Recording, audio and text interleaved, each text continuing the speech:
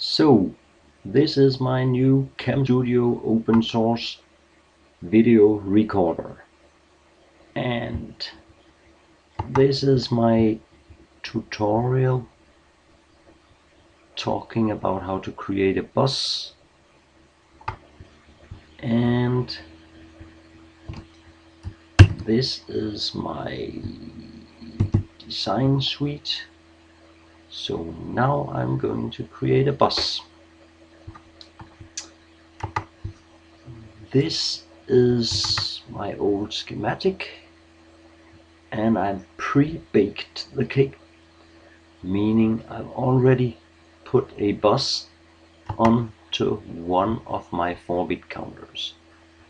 So instead of taking out the individuals uh, instead of taking out the individual uh, pins to individual ports here is a concatenation of four output pins into a bus and put uh, and put onto one output bus port. This is good uh, though it's a bit different uh, from the other kinds of manipulating the schematics. So to create a bus what you do is you create a piece of wire. Nice long piece of wire. Then you do something new. You give a name to the wire this has always been possible but never really been used by me. The name of the wire can be anything. Confirming to VHDL naming rules. Uh, the name of the wire in this case would be uh, indicating the minutes counted by this nice little counter. So I will name this minutes. Uh, when naming a bus I also have to uh, indicate the numbering of the individual wires inside the bus. So this bus is named minutes from element number 3 down to element number 0 like this after uh, putting this net name in this uh,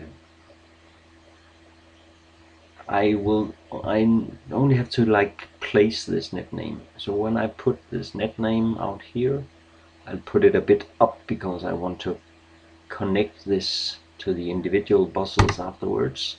It will just put the text right here. I still have the net named attached to my cursor uh, so I'll press escape and the, then it goes. So now what I, what I need to do is I need to connect these uh, individual wires to the um, to the actual bus what I need to do is I need to put on what's called taps to the bus and the the tap when I do it like this there's an orientation to the, of the tap I will change this to right and then I can place these taps I'll try to place them like uh, in the same height as wanted from my little counter. So something like this something like ah nice work. And the last one something like here uh, escape to release this tapping. Next connect the wires. Add a wire from this output pin to this tap. And go. And uh, escape maybe I can do it better maybe that and that Okay, so starting from the bus tap is a bit easier, yeah.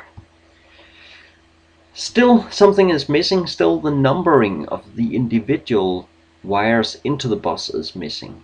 This is also done by the naming options. So what I do is I put a name to each of these. It still holds the old name. Uh, the naming of the top one is the first one I'm going to get to do. So the name of what here is Q0 is supposed to go to the minutes and it's going to connect to minutes element number zero.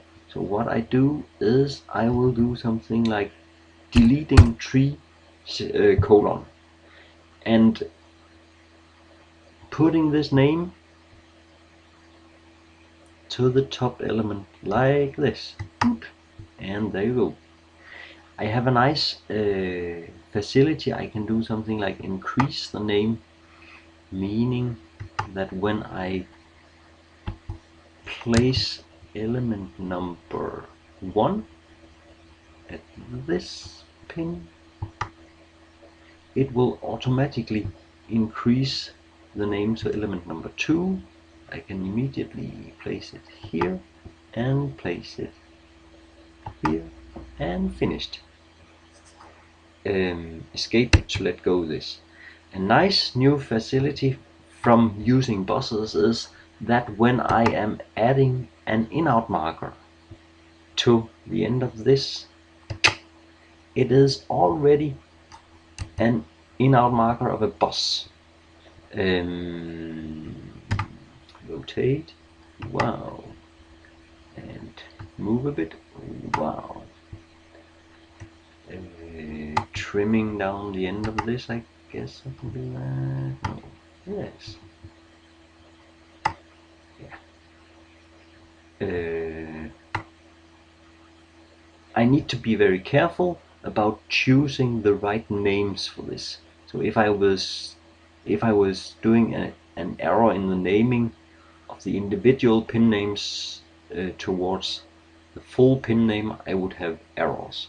So next thing is go to design mode and check that I have for my minutes thing that I can uh, check design rules. I want to save yes please. And success this concludes this little video about using buses for uh, schematic entry. I think that ah, this almost concludes this because I want just to try to create a schematic symbol uh, to see how that works. Take this symbol. Hmm and there it is. And there it is. And I'll try to put it here. This is not meant to be here because I can't put the schematic symbol of some element into a to the element itself. But what I see is I see this is my minutes counter with a clock and count enable output and two buses as the outputs so when I connect wires to the clock input, it will be a wire. But if I connect wires to the bus end, it will become a more thick wire, indicating that this is really a bus. Finished over and out. I will have to delete this, otherwise I will get errors eventually stopping my cam studio recorder